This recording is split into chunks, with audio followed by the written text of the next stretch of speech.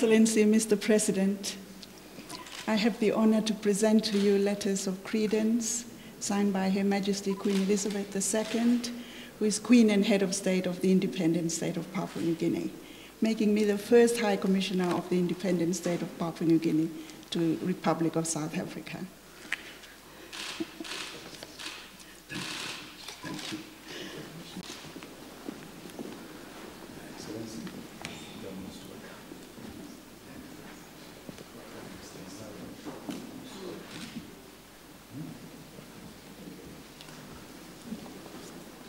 Excellency, I have the honor to present to you the letters of recall of my predecessor and the letters by which His Excellency President Dr. Ernest Bai Koroma has appointed me as Ambassador and High Commissioner of the Republic of Sierra Leone to the Republic of South Africa. And I will also use this opportunity to convey his sincere greetings to you and appreciation for your support to Sierra Leone during the Ebola era. And now we've defeated Ebola thanks to your support and other support from the international community. And then I also use this opportunity to convey his message to you that Your Excellency should reactivate the tripartite agreement between Sierra Leone and South Africa regarding the Cuban doctors. Thank you. Thank you very much. Excellency. Yes. I bring you a message of friendship and best wishes of continued well-being and prosperity for you and your nation in the future. With these words, I bring you to you the letter of recall of my predecessor and my letter credentials.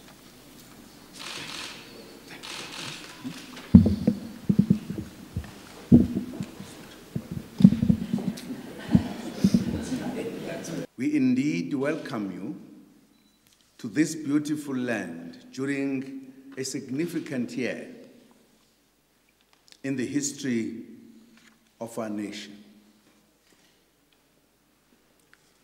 The year 2016 marks 20 years since the signing of our Constitution as the supreme law of the Republic by the then President and internationally revered statesman, President Nelson Mandela. Tata Madiba, as he was affectionately known, stated during the signing of the Constitution that, and I quote, as we close a chapter of exclusion and a chapter of heroic struggle, we reaffirm our determination to build a society of which each of us can be proud as South Africans, as Africans, and as citizens of the world, unquote. I can confidently state that the checks and balances encapsulated in our Constitution have contributed to the vibrancy and strength of our young democracy. Furthermore, we are gathered here during an important month in the history of our continent. On the 25th May 2016, which is Africa Day, we will join our fellow Africans on the continent and the diaspora in paying homage to the founders of an independent African continent. These are our forebears who established the Organization of African Unity, known for short as OAU, the precursor to the African Union, known for short as AU. I'm pleased to invite you to join us as we celebrate Africa Month through various activities leading up to the actual African Day and beyond. As you may be aware, the Africa Month program was launched on the 3rd May 2016. This is a further testimony to the importance we attach to Africa's prosperity and our collective aspirations contained in Agenda 2063, the Africa we want. Your Excellencies, South Africa, like all other developing nations, could not emerge unscathed from the turbulent global economic conditions following the 2008 economic crisis.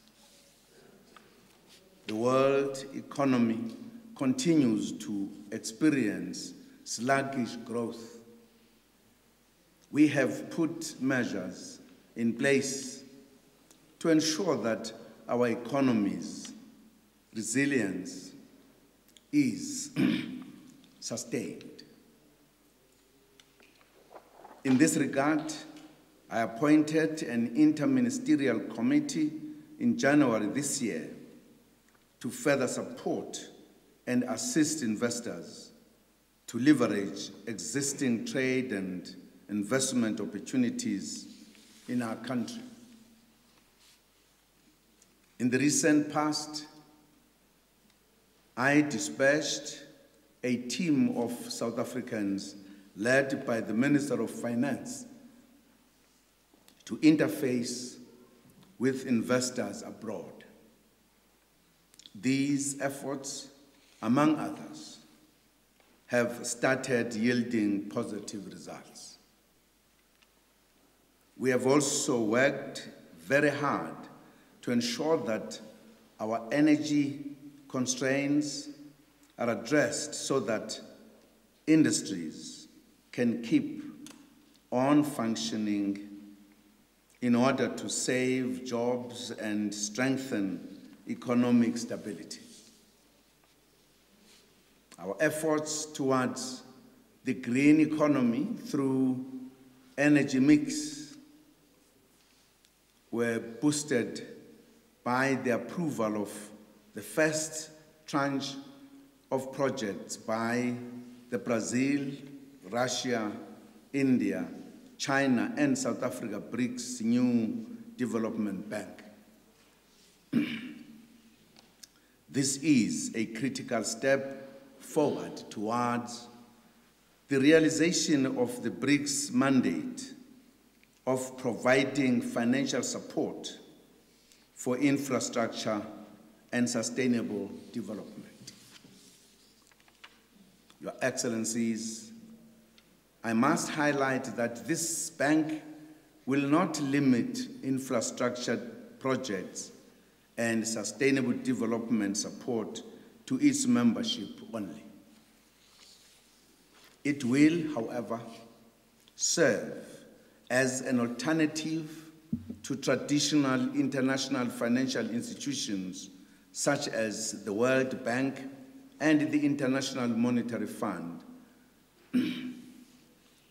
IMF for short, and serve all interested partners across the globe. The IMF team, which recently visited our country, pronounced his confidence that South Africa's economy will soon be on a growth trajectory. This follows the past weekend's affirmation of our current investor rating. I have regularly met with business and labor to review progress and collectively chart a way forward. To further consolidate our work in this area, Deputy President Cyril Ramaphosa is currently leading a delegation to Rwanda to participate in the World Economic Forum for Africa. Ladies and gentlemen, we have a shared responsibility to create enabling global conditions for sustainable development. This includes ensuring that we pursue our collective commitment to project to protect the planet from degradation as contained in the United Nations 2030 Agenda for Sustainable Development. In this regard, South Africa will commence in earnest with its national processes to ratify the Paris Climate Change Agreement. We would like to urge the other 174 UN member states that signed the agreement on the 22nd April 2016 to also embark on their national ratification processes. We are conscious of all other challenges faced by our people, which can indeed limit our endeavors to bolster prosperity. These include continued instability in some parts of the world, increased acts of terrorism, and rising extremism, among others. We shall spare no energy in addressing these challenges, and I believe that working together as partners, we can create a better world for all.